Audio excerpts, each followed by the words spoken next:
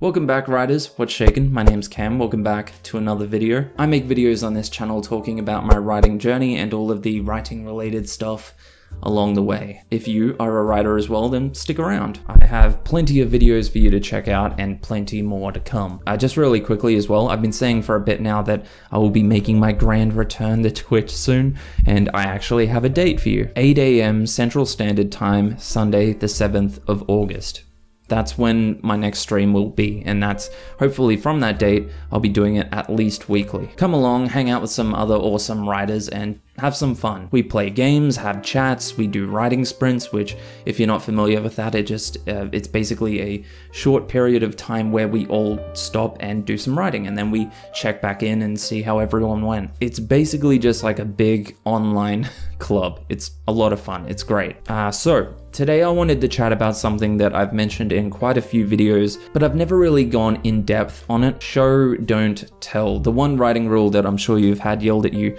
probably a million times by every author with an online writing course. And this is something I've always actually been kind of flip floppy about. Flip, floppy, there has to be a better word for that. I am a writer, I swear. Now, show don't tell in theory makes quite a lot of sense, and for the most part, I do think is very important and good advice. But if there's one thing I've learned over my entire time uh, as a writer, I, I don't know how long it's been now, but if there's one thing I've learned, it's that no one rule when it comes to this, or pretty much any art form, should be taken as an absolute, with very few rare and obvious exceptions. Basically, when you're writing, rather than telling the reader what's happening or what the room looks like, what the character's feeling, or what they're wearing, you show them. Uh, for example, instead of the handsome Australian author tuber seethed with rage when he saw the rotisserie chickens were gone, you could say the veins in Cam's neck bulged as a wave of heat painted his face red. In place of a rotisserie chicken, there was now only empty, hot steel. No, no, no, no, no, no, no! Wait, wait, wait, wait! One of those examples is pretty boring and tells you exactly what is happening. He seethed with rage. But the other example doesn't even mention any words like angry, yet you still get the message, I would say even clearer than the first example. This one is a really easy black and white example of show don't tell doing its job and doing its job well, resulting in a better story. However, there is an issue. Uh, actually, first, I'll make it clear that this is just my personal opinion. In fact, it's my opinion as a reader rather than a writer, but I'm not an educator, so far be it from me to tell you what to do or not. Here's my issue uh, a lot of authors take this rule to heart, and I'm guessing in the revision stage, they go back and they replace every single tell moment with a long winded descriptive show moment. And I don't think this is a good practice. Show don't tell is something that, in my opinion, should not be seen as an absolute rule. Sometimes, in fact, I would probably go so far as to even say most of the time, I would rather you just tell me what's happening or how the character is feeling so that we can move the plot along. Descriptive writing can be beautiful in moderation, but when authors go ass over tit with it, we end up with a dump truck worth of purple prose, and that is one of my least favorite things. Again, this is just my personal opinion, but it's one of my least favorite things uh, when I'm reading. What I find is that we end up with as much information in 30 pages as we could have gotten from just three. This is why I enjoy books from authors like Brandon Sanderson because he actually does quite a lot of telling rather than showing. But the awesome thing is, uh, when he does do showing over telling, I appreciate it more and I'm like, wow, that was a really beautiful a section of descriptive prose. I don't always get the same feeling when I'm reading from authors that do this with every single sentence because I just become numb to it. We talk about in writing this, uh, this, this phrase called show don't tell, right? And it's become a mantra. It's this thing, it's like, you know, anytime anything's wrong in a story, people be like, well, you didn't show enough, you told too much. And they're often right.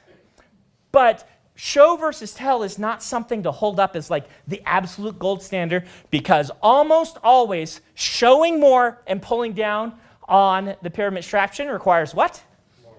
More words. It's kind of like uh, when people say use said instead of any other dialogue tags. Using said allows the reader to kind of skim past it but still understand who said what. They can move on without worrying about the fluff. Ironically, this is another rule that I take a bit of issue with because I actually do like descriptive dialogue tags.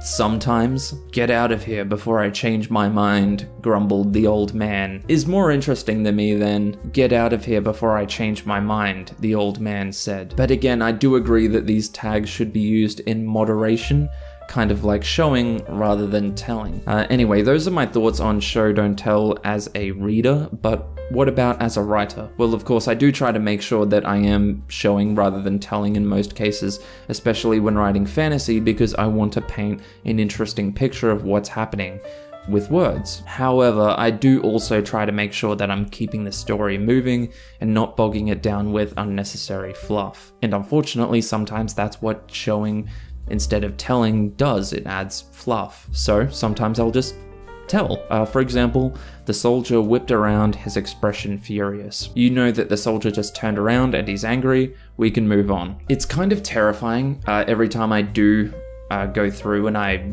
tell rather than show because I imagine someone reading it and saying to themselves, this isn't showing, don't tell, therefore it's bad writing. And I don't even blame them for thinking that. Like I said, this rule has been drilled into us so much that we press on it whether we're reading or writing. And to be very clear, if I am doing way too much telling rather than showing, I should be called out for it. Criticism is good, all criticism is valid, even if sometimes, rarely, I find myself disagreeing. My hope would just be that both readers and writers are asking themselves if this line that they're picking at needs more descriptive writing, or maybe it works best as a quick tell so that we can just move on. So one of the things I learned most from reading Stephen King and, you know, following his uh, writing advice stuff. Like I read Stephen King's book on writing.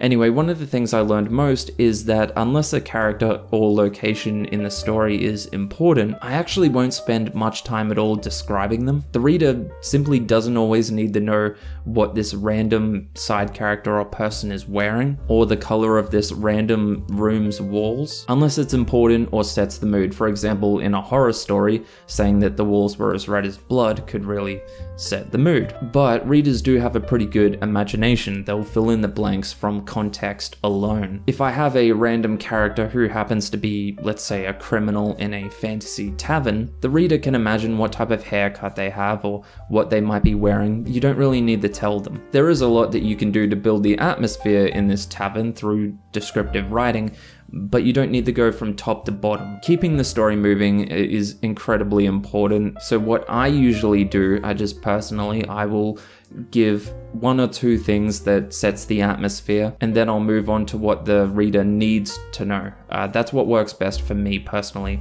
and that's something that I've kind of integrated from all of the different writing advice I've gotten from courses and authors, etc., and from my time as being a reader. Anyway, like I always say, uh, the beauty of writing is that it's an art form, and art form is always subjective. So, what do you think about Show Don't Tell? I would love to hear it. And also, are there any other writing rules that we've had drilled into us that you're not really on board with? Stick around for more writing videos. Go follow my Twitch page so you can hang out with us uh, when I go live. And until next time, good luck with the writing, mate. Catch ya.